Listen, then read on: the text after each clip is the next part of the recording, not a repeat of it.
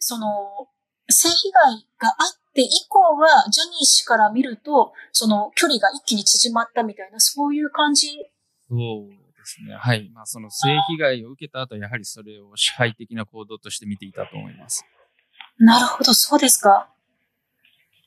そのまさに支配的っていう今お言葉出ましたけれども、その性被害ってよく性欲で行われるという以上に支配欲でやるものだっていうようなことが言われますけれども、かなりその、だからジャニー氏は、ジュニアへの支配みたいなことを、そういう形で行っていたみたいなところもあるのですかね。うん、なんか、その、やっぱりジャニーズっていう名前にも見られると思うんですけど、この、ジャニーズっていう言葉、その、言ったらその、所有格の言葉なんです。その、ジャニーのものっていうことですよね。だからその、まあその、ジャニーズジュニアって、ジャニーの子供たちという意味とも捉えられますけれども、まあ、自分の所有物のように見ていたんではないかなと、今振り返ってみると、あの、思うところはありますね。はい。はあ、いや、名称のことを今、日本木さんにお聞きして、あ、そうかっていうのを私も思い至りましたけれども、はい。なので、今まさに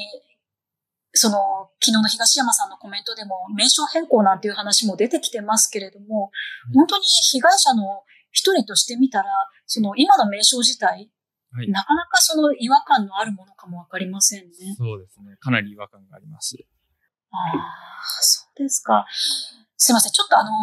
グルーミングの話とはずれちゃうんですけれども、あはい、あの、日本美さん、告発する前の段階のプロフィールでも、その、ジャニーズジュニアだったということって、一切触れてらっしゃらなかったですよね。はい。それは何か思いがあってのことなんですか？うん、やっぱりその、そうですね。あの、私にとってその、ジャニーズに所属してきいた期間が、あその、黒歴史と言いますか、そういう後ろめたい時代であったっていうのが一つ関係してると思いますし、あの、まあ、そのジャニーズの対象直後、私アメリカにあの移住したので、まあ、その、アメリカではジャニーズのことを知ってる人はほとんど、あの、いないですし、はい。まあ、そういうまあ、その、環境に身を置いてたので、まあ、あえてその、自分が元ジャニーズであったということを公表する必要性も特になかったので、まあ、そういった背景があると思います。ああ、なるほど、そうですか。まあ、そういうことで、まあ、だから、ジャニーズにいた2年弱ですかね。あ、1年半です。はい、あ、1年半ですか、失礼しました。その1年半っていうのは、後から振り返ると黒歴史でもあるし、はい。まあ本当に今告発してる段階でもそうだとは思うんですけど、は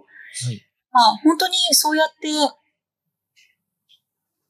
キンキキッズのコンサートに、その、舞台に上がらせてもらったよとか、そういうこと以上に、その、まあ、性暴力を受けたっていうことの方が、やっぱり印象がものすごく強く残るということですかね。はい。私には、あの、そうしたものとして残っていたと思います。よくわかりました。で、また、証言の中ではですね、その、合宿所、先ほどもお話に出た、その宿泊場所ですよね。っていうところに行くと、まあ、ジャニーから食われるぞと言われたけれども、その13歳の少年からしてみたら、その、まあ具体的に何が起こるかもよくわからないし、まあ、通過儀礼みたいなものだっていうような、そういう受け止めになっていったっていうお話がありましたよね。はい。あの、まあ、だからまさに性暴力への抵抗を奪われていっていたのかなと、まあ、今思えばですけれども、はい、徐々に奪われていってたのかなっていうのが先ほどの4番のパネルでした。はい。